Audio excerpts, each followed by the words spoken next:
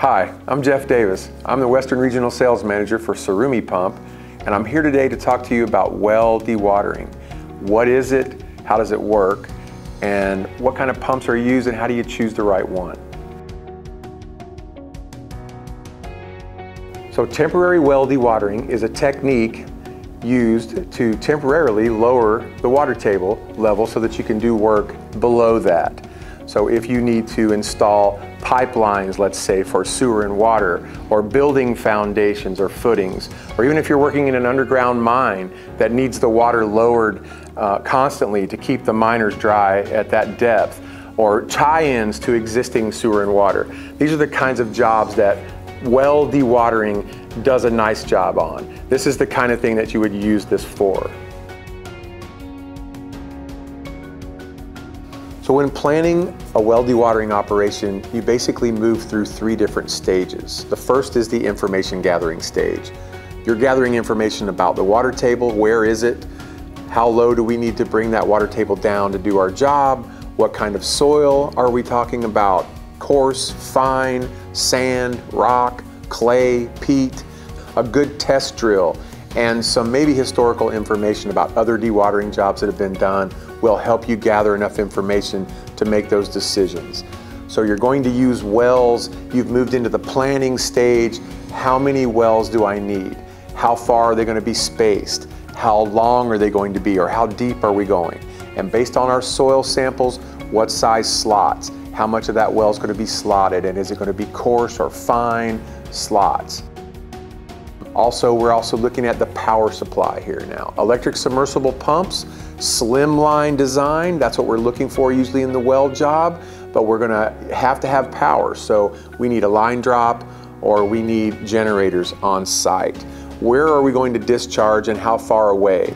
That's important. You need permits to discharge water, groundwater, or any kind of water because of a couple different reasons. You can either contaminate water in the area of your discharge. You could also cause serious soil erosion, some unsightly things and, and problems on other people's properties. So you have to be very careful with the discharge. You need permits for that. You know, how much noise are we going to make? Do we need sound attenuated generators to keep keep the noise down? Are we in the middle of a neighborhood doing a tie-in? That kind of thing. So those are all important aspects of planning the job. Now we get on to the execution part. Here's where we're choosing the specific pumps. Uh, we're going to go ahead and put the wells in the ground first. We're going to jet or drill the wells in, so we're lowering the wells into the ground, getting them into position.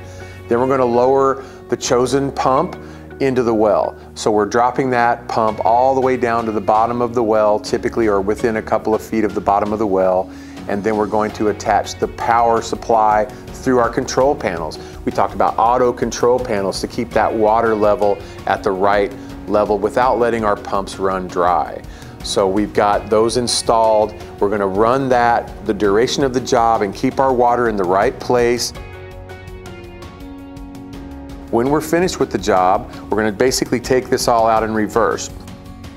We're shutting off the power, removing the control panels, we're gonna pull the pumps out of the wells and then eventually take the wells out as well. And the water table should come back to the normal level that it was before the job.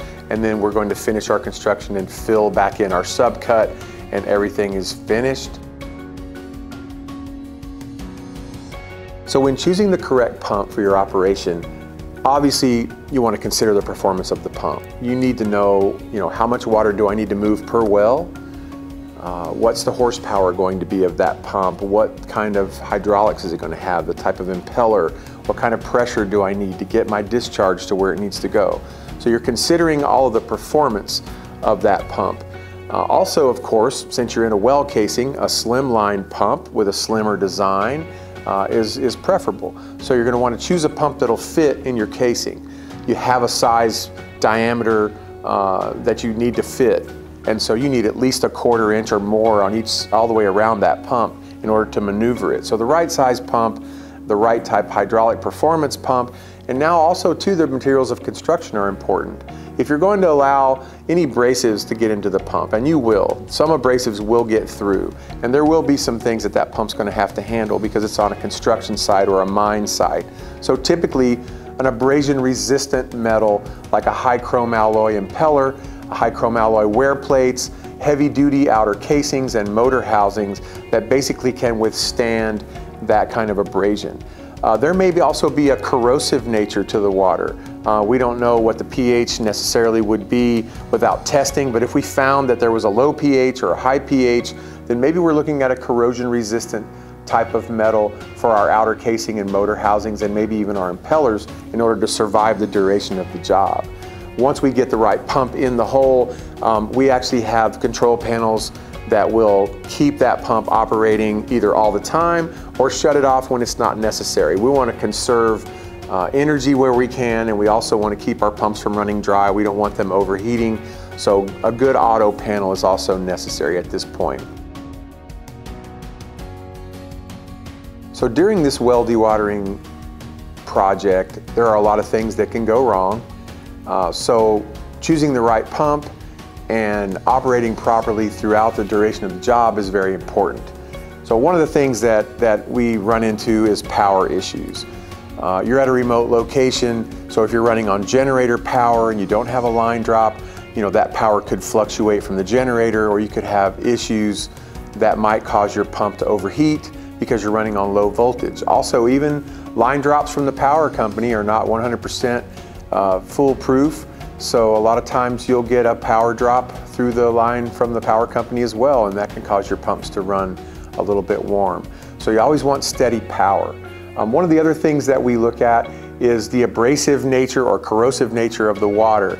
We mentioned that um, earlier that the slot sizes in your wells need to be proper to keep as many abrasives out. You need to do a good sampling of the water when you do your information gathering to make sure that if you have low pH or high pH, you might need stainless steel pumps or some kind of coating on your pumps. You don't want your pumps running dry. That's another issue that happens. Uh, we, we, we did mention control panels and level control, auto control panels. It's very important that your pumps don't run dry for an extended period of time. Even if their seals can handle that, it's not good for the motor to run uncooled for an extended period of time. And if there are abrasives present, uh, in the well, running without water can actually increase the likelihood uh, of a lot of damage from abrasives. So you don't want your pumps running dry. Um, cable damage is one of the things that happens quite often. The power cable gets damaged from the installation and or somebody tries to pull the pump from the well with the power cord. So a good strain relief on the power cord can help, but we strongly suggest that you use a rope or cable to lift that pump in and out of the well. Uh, proper uh, lifting and also having the right pump that has proper cable sealing uh, some sort of an anti-wicking system that might keep water from getting into the top of the pump. So Tsurumi pumps uh, are typically uh, very well made for this type of application. We have slimline pumps. Uh, our distributors are standing by to help you. Our own inside sales people and our inside application engineers are standing by. And please uh, call us and contact us if you need any help at all deciding on which pump is proper for the well dewatering job and follow us on social media for additional tech tips and application information ongoing. Thanks for watching.